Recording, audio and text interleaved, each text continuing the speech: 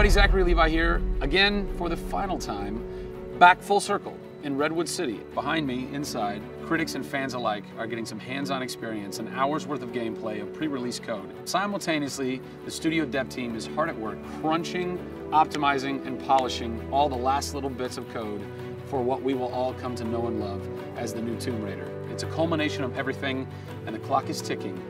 These are the final, final hours of Tomb Raider.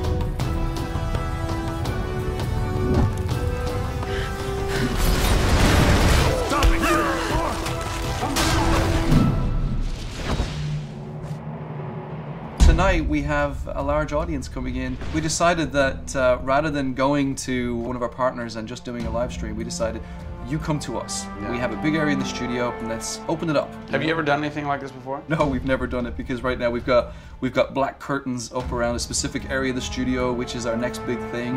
Only a select few people have been allowed to come in, Right. and everybody's heavily NDA'd. And now we're going to bring, you know, 80 plus people into the studio. But it's exciting, you know, to bring those type of people into the studio. They're the fans. They're the people who love it, and uh, we want people to, to be a part of their experience. On one half of the studio, all that is, is going on like Yeah. crazy. But basically, in half the studio, you guys are just pounding, Yeah. working out every last glitch, every last Yeah. bug, making sure that it's all just Perfect. done and perfect. Exactly for your for your your certs on Yeah. Friday. Yeah. What happens when a game fails, cert? Then things start getting like, you know, sweaty around here. You know, you're dicing with uh, with death right there. Well, you might be missing a release date. That's how big a day this Friday is. Yeah, it's huge. If we submit and they come back and say, hey, there's maybe 35 things that we'd like to change, then as a studio, we'll change them. We'll, we'll improve them. Or there's small things that they say, hey, you know, this experience might be better if you just fix this little thing. Then, of course, the team are literally sitting there waiting for that to happen. And there has been games I've worked on where we've submitted and within 24 hours it would get kicked back and they'd say, eh, eh. hey, yeah, you guys are crazy. You shouldn't have submitted it. So there are 80 people. Yeah. In the office. Yeah. Right now, you're five, four and a half days away from delivering this thing, and they're all they're strewn about. What are they all doing? So we have guys working out of very prioritized hit lists, right? So we Right. say, okay, this is the most egregious thing that we've noticed lately. We'd like for you to focus in on it. What are you guys debugging here? Looking at some menu transitions. Oh yeah, we want to make sure everything Oh, feels snappy all the time. Menu Look at all transitions. smooth. If I had a nickel for every time. One of the toughest things with Lara as a character is her hair. Um, you try to simulate hair in a video game, and Oh, it's, yeah. it's not always exactly the way it would be in real life. But that's something that's, um, I think the fans really point that out, and they want Lara to look as good and as believable as possible. So even in the home stretches, we're trying to sweeten it and make you believe it. So I spend a ton of time playing the game. So while everybody else is busting their butts trying to make it work, you're having fun. That's basically what you're saying. There's about 80 people Right. that are all still busily working in this last week before the, the game goes to cert. Absolutely. One of those groups is called the what group? The OMS group. And what does OMS stand for? Uh, OMS is an acronym for Oh My Shit. and what does that mean exactly? when you're into the high octane moment, the only response that we were challenging the team that it could come back with was I would exclaim, "Oh my shit, that's awesome!" Right? Right. Like, I couldn't even cuss properly. It could have been the OMHG, the Oh My Holy God Yeah, team. yeah, yeah. But Oh My Shit. Oh I my think shit! It just it sufficient. resonated. So many companies focus on the explosions, explosions, explosions, and we love explosions. I mean, there's plenty of them in the game. But it's also about sometimes that implosion moment, that time where you actually feel like you're part of that. Yeah.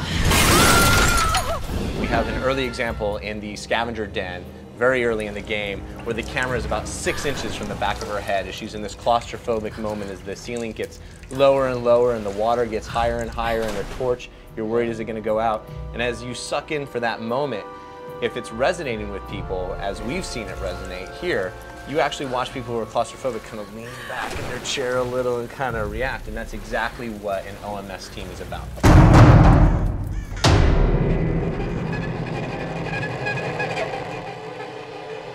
You feel confident that in four days, in four and a half days, this thing is like ready to ship and ready to rock and gonna blow people's minds? How about we look at that? I got a board that'll tell us. Oh yeah. Where's your board? Right over here. I'm a stats guy, right? Like, Okay. It's got to be like the McNamara version of reality, right? so, and getting things done, like it's very NORAD-like with the update on where we are with bug count. So we have the number of days that we want to count down for, the priorities of what people are given against, and then an overview of how many things are remaining to be resolved per person. Carrie's got her work cut out for her. Come on, Carrie.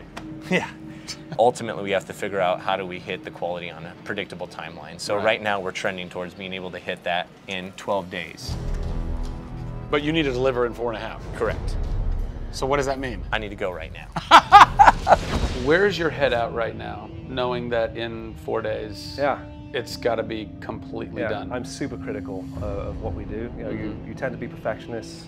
I'm absolutely that way. It's more like this is leaving now. Yeah. You're done working on it Yeah. because time's up, and you're like, but there could be one more thing I could do. it's a weird feeling because it's been part of our lives for a very long time. How long have Well, you been on it? Um, definitely four years. Yeah, like Four years. years. Yeah, four years. That's insane. I know. I was young. Yeah. Fresh face. I was young then. Yes. No bags, no I had a grey hair. Yeah. It's been a roller coaster ride, and during that time, we've been around the world. We've gone to shows, we've shown press, we've given hands-on, we've had community events. We've been in San Diego with you at Nerd Machine. We've seen people excited to see this and play this game, and it's it's been it's been awesome.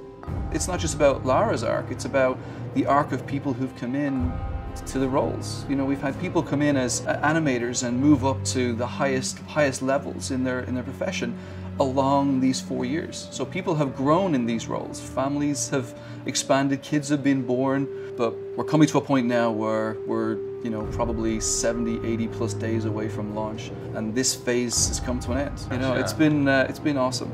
With less than a week to go before console certification, the last few bugs to squash, and a general lack of sleep all around, this production is definitely going to go down to the wire. Will they make it? Join us next time on the final, final hours of Tomb Raider to find out. Pre-order today and receive an Amazon exclusive Final Hours edition, which includes an art book and in-game aviatrix skin. You'll also receive the Shantytown multiplayer map. Plus, get access to the Tomb Raider scavenger hunt where you can unlock DLC and win great prizes, such as a life-size Lara statue, an ATV, and a trip to Fiji. Pre-order Tomb Raider now.